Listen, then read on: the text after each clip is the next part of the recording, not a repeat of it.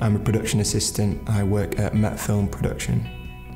At the moment, I'm working on the production coordination of a feature documentary which is shooting in India. That includes arranging the travel and accommodation and equipment for the director that I'm working closely with. I'm also working on the festival distribution for How to Change the World, which is a feature documentary based on the founders of Greenpeace.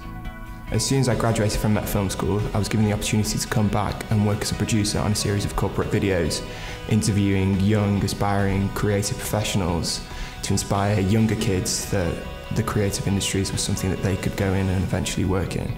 So whilst I was at Met Film School doing my masters, I met a lot of different filmmakers that gave me the opportunity to work on a lot of different projects. One of which I was given the opportunity to produce a short film out in South Africa. And I went across with a director from Met Film School and a cinematographer from Met Film School. And we collaborated with another film school out in South Africa in Johannesburg um, the film was about a young black maid. Uh, we went out there for three weeks in total and really happy with the end product. The next step in my career is an opportunity that's been given to me by MetGo, which is to line produce a feature documentary that will be broadcasting in the new year. One piece of advice I would give to anyone looking for work in the film industry would be to be organised, to be punctual, and to be disciplined. It's something that's very respected in the industry, and if you're not, there'll be 10, 20, 30 other people that will be more organised and more disciplined.